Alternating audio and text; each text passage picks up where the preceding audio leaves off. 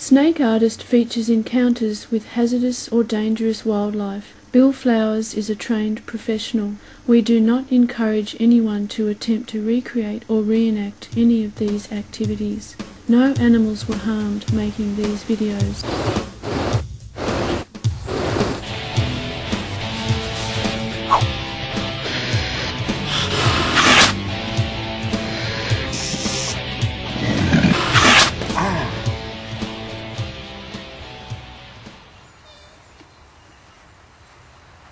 This is the red-bellied black snake from Australia. It's trying to get a bit of sunshine on a very cool day. Because its scales are black, it can attract the heat and warm up. It's really not taking much notice of me and I'm not bothering it. I'm not don't need to catch this guy for any reason at all. I can just observe him. I'm probably a little bit close, but this is a way of observing their natural behavior. It's just trying to warm up and get moving. Its eyesight is not very good probably can't even see me because I'm not moving. Once I move, then it'll pick up on that movement. The flat bellies and its scale pick up vibrations in the ground. The sand here is very soft and loamy and it's not sending out a lot of vibrations. So I was able to sneak up very quietly on this guy. I'm not threatening it in any way. Snakes will react badly to violence or to stress. The red-bellied black snake, although it's highly venomous, is not very aggressive. It tries to get away from people. It doesn't try and bite people. I'm looking for signs of stress. If there is any stress at all, I will back off and give this guy some breathing space.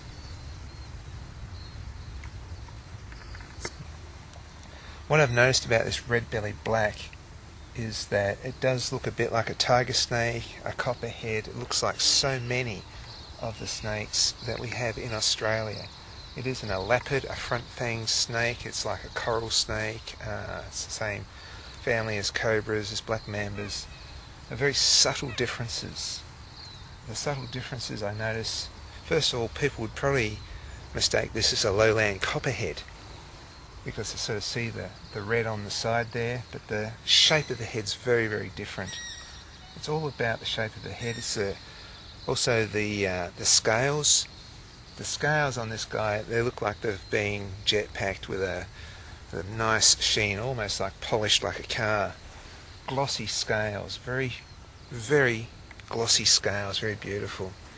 Uh, whereas the copperhead would be much duller, more of a satin, more of a uh, a velvety look. This has got a really jet black gloss look. It's very beautiful. The scales are very, very fine across the back there. And if you look across the nape of the neck, they just form this beautiful pattern. It sort of goes in a bit like that. Just the way the light's catching them at just at this moment uh, makes it. It's almost an optical illusion that the eye is sort of, you know, seeing those shapes there. I've sort of put that there it's almost like the Aboriginal art has what looks like ribs there, but that's uh, the patterns that the scales are forming there. It's a very delicate looking snake too.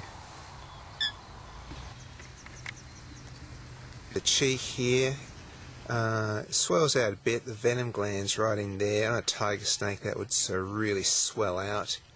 Uh, it does look very much like a tiger snake, but here the venom gland's not quite as much and it's just sort of the angle there goes up a bit more. So there's a very very subtle differences little frontal scale there between the eyes. Uh, again tiger snake's much wider across there. This is sort of flatter uh, more narrow rather. A bit more like a copperhead. But again hasn't got that gloss you know, copperheads don't have this shiny gloss this sheen on them that uh, this black snake has. Right now the snake can't see me because I'm not moving. It can't hear me, it doesn't have ears. I'm not moving around too much so it can't feel vibrations through the ground. It sort of suspects that I'm here, its tongue's flickering, it knows that there's something around. But the survival strategy for this animal was probably just to keep still that keeps still, let those scales suck in energy from the sun so when it does have to move it can move fast. It's just warming up, getting ready to move when it has to. There's a lot of space around it, the snake's not crowded in, it's, it can turn and go the other way freely of its own accord. I'm certainly not going to stop it.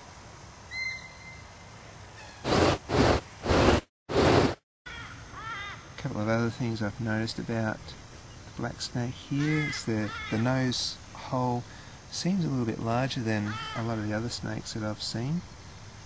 And on the side, the first couple of rows of scales where it starts going red, the scales are like cut in half. They're half red, they're half black. It's very beautiful. It's all the way down the whole side of the snake.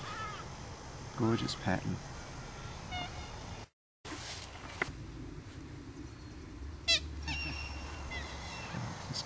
Sketch page. She's probably going to go your way. Yeah, if I just sit still. Back a bit. Wait, that on. There she goes. No, I might move. Yeah, good idea. She's flattening a little bit. Because it cannot see or hear or feel the vibrations when it does move, it may move blindly, and some people say that snakes chase them often the snake will just panic and because it can't see will sometimes go the wrong direction where the, where the humans are. But uh, this guy's noticed his mistake, he's turning around and he's going the other way.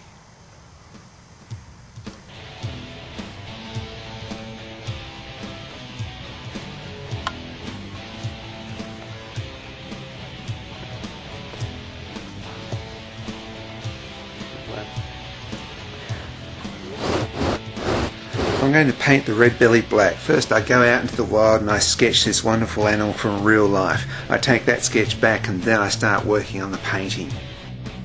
Very unlikely to bite. They are not that aggressive unless you really provoke them.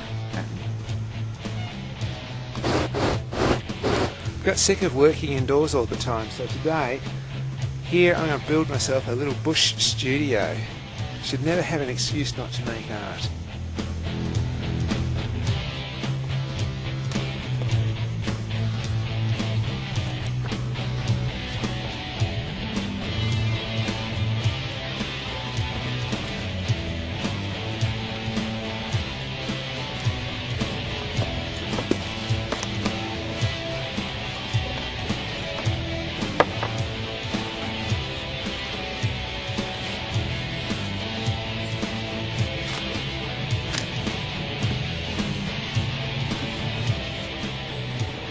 Had this idea of doing sort of a big S shape, so flattened, and really put some perspective in there so you sort of can see the sides of the red-bellied black because it's one of the things I found very beautiful is the side panels of this red-bellied black. I want that to be a feature.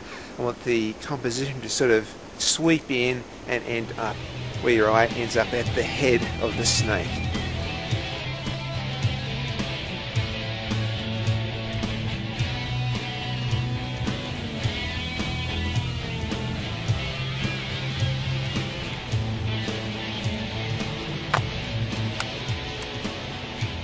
Starting to build up a good texture in the background, um, sort of, you know, sort of an abstracty background. And it's going to be a realistic snake over top of that abstract background. Uh, that's sort of what I'm aiming for. I might add a bit of white to some of the colours, knock the colours back as you can sort of see. That's really standing out from the background. I really want it to actually to blend in. So bits of white through the colours I'd say is what's needed. I decided that it didn't look quite right. I, I popped in a bit of the tail there. That's bringing the composition together a bit more. I thought the composition was going to work fine just with the just the S, but it's got to have that little bit just to finish that composition off. Now the tricky bit is I didn't really sketch the tail of the red belly black, and so I sketched the head and I've taken some notes on the mid body. Um, I'm just going to have to guess the tail bit tapers off a bit, so this is probably a female. I don't like to work from photos. I mean, I could just go on the net and drag up a photo, but um, to me, making the mistakes is part of it. I love to work from real life and from my head. I don't like working from photos. I'm not a photocopier.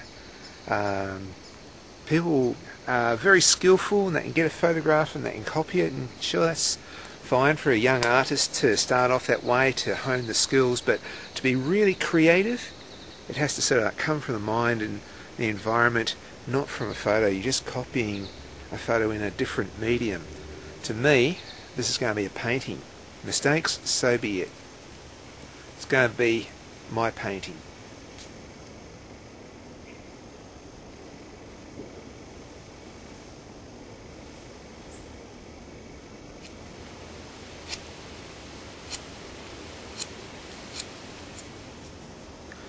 I love the way the red-bellied black snake just sort of laid there as I was drawing it. It was just, you know, it was very calm. I was calm. It was calm. They are deadly venomous, but I wasn't too worried considering that, you know, being so close to tiger snakes and brown snakes. I've been across a lot more deadlier snakes than that. It was just, you know, just me and the snake just chilling out that is, of course, if the snake was even aware that I was there. If it was aware that I was there, it certainly didn't perceive me as a threat. And when it did, it just moved on. Wasn't sure about me.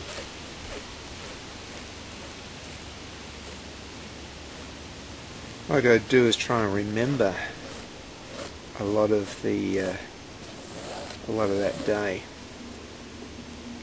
I have a system for marking out scales, which seems to work for me quite well. I can usually draw a lot of snakes pretty pretty accurate without actually you know needing a photo. And the way I do it is I make up a brick wall with the um, with my pencil and I end up replacing every brick with a scale. Sun's getting low in the sky and the uh, temperature is dropping rapidly. Feels like it's even going to rain. It's been downpouring a lot lately and it's been making it really rough for me to work out here. So for the smaller delicate pieces I might take this inside, uh, have a look at my sketch pad, look at my notes from when I uh, was actually drawing this guy and go from there. It's quite early in the morning and it's a beautiful day and I so wish I was heading to my bush studio.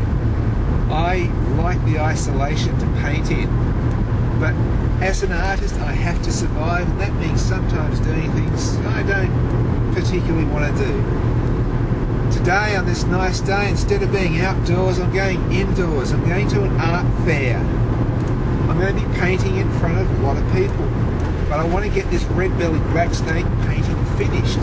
So this is an opportunity to paint flat out and I just, you know, I just don't seem to be able to put that painting aside and work on something else. I just want to get that painting done.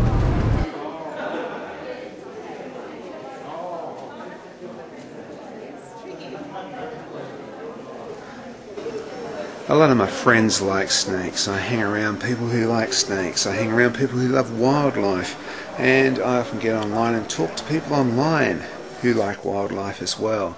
And after a while, I just tend to forget what the uh, general public thinks.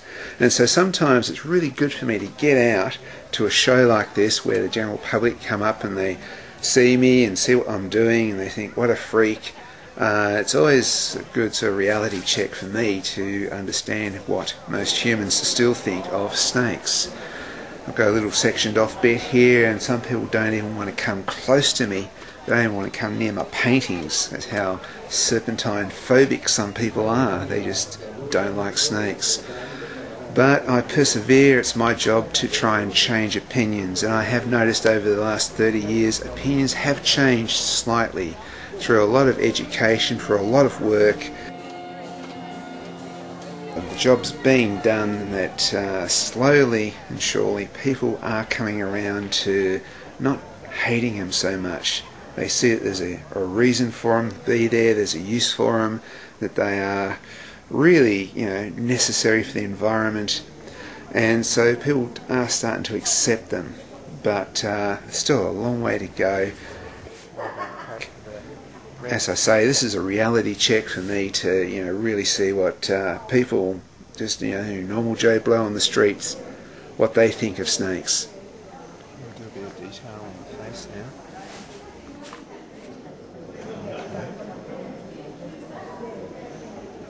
You love snakes, don't you? I love snakes, yes. The red-bellied black snake can get to quite a big size. They can get up to six, seven feet long, well over two metres in length. They're often found around water. It's a place where they can often escape to. They seem to enjoy eating frogs and fish as much as birds and mammals and reptiles, so the water is a really good spot for these guys. As far as Australian venom snakes go, their venom toxicity is not quite as toxic as other snakes, but still dangerously venomous and should be treated with respect. There she goes. No, I might move. Yeah, good idea. This is day two of the art fair, and today I'm going to add the red paint to the red belly black snake. Uh, I've put a white under painting just to bring the red out. I want that red to really, really be out there because on the actual animal I'm just blown away by how red the actual animal is. It's just an amazing colour. In, in nature, bright colours are sometimes basically saying, don't eat me, I am venomous or I'm poisonous. Uh, very similar to like, you know, the redback spider. What we've got down here is what we call a redback spider. Now in America, pretty much the same species is called the black widow because uh, the male, which is a lot smaller, comes, mates, and then she kills and she eats the male. But a lot of spider species do that anyway. Here day two and I'm painting away adding the red, the brilliant bright red to the red-bellied black snake and you know, this is sort of what I've been waiting for. Really going to enjoy this. Also adding on the highlights. You know, I'm painting this scale by scale, just really enjoying the detail here. Really appreciating the actual real animal. What the real animal looks like is so much more beautiful than the painting that I'm doing. And as I'm sitting here, people either avoid me or they come up and they tell me stories about how they kill snakes. And it's a bit sad to think about how absolutely gorgeous this animal is. And I often think, here I am, northern Tasmania, it's almost like the Bible Belt of Australia. There's a lot of Christians in this area. And if they do believe in God, and they do believe that God made this scale by scale, every scale perfect, then why would they kill such a thing of beauty? If they believe their God made it, why destroy it? Can't they see it's there for a purpose? I, I, personally believe that you know it's just part of nature, and I think all life is sacred and all life is precious, and I just wouldn't want to kill something, even if it was dog ugly. But this is absolutely beautiful. The way the the dark scales on the back reflect the sky. It's a, it's a beautiful animal. So I'm just hoping that my presence here at the art fair will give that message out to people let people see that this is a beautiful animal. We have a lot of good positive comments as well, and that's really heartening to know that there are people out there that do like snakes, or at least appreciate snakes. They show them respect. A lot of people come up to me and you know, congratulate me on what I do, so it's not a complete lost cause. There are some that think I'm a loony, and there are others that sort of admire what I do. So I'm hoping that slowly, as attitudes change, that I'm just a part of that attitude change. That we're all sort of working towards loving these animals while the habitat's still there, while they are still there, and hopefully, if we get people to love these animals, they'll love the environment that they live in and care for that as well. And if we love the environment, well, that's basically what we need to survive, so it's helping us as well. Today I'm producing a bit of art about the red-bellied black snake. I've been out in the wild, I've sketched this animal out in the wild, I've gone into the Bush studio and I've started the painting there. I've then gone to an art fair and I started finishing off the painting. I've got it to almost finish But I think to really finish this work, I really need to get back out into the bush. The red-bellied black snake is a beautiful snake. I hope that uh, during the course of this uh, episode that you've seen this snake for what it is. It's not uh, a nasty killer of human beings. It tries to keep out of people's way. It will just flee from people most of the time. It is a beautiful snake and yeah, if we could just if we can just get people to see how beautiful snakes are maybe people would leave them alone they won't try and persecute or hurt these guys they are solar powered rat catchers Without snakes, without this predator in the wild, if we removed them all, it would upset the balance of things. They are definitely necessary for the balance. You always need predators. And us humans, being the ultimate predator, we tend to not like other predators. And yet, you know, they do us no harm, and if anything, they do humans good. We just gotta treat them with respect and not fear. And that's probably the message I'm trying to get through in my artwork, in these videos. Treat these guys with respect, but don't treat them with fear. Don't treat them with hatred. And see them as something that's absolutely beautiful. Because all snakes, in their own way, are very beautiful animals. And once you get to see this, you can really get to appreciate the whole of nature. Till next time, see you later.